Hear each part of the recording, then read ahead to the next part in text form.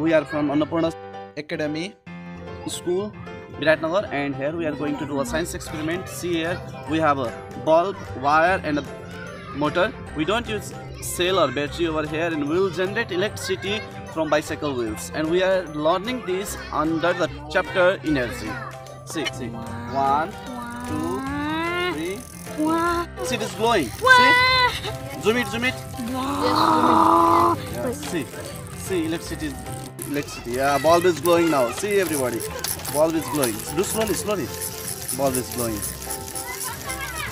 So we learned that in electricity energy, here mechanical energy is converted into electrical energy. Thank you.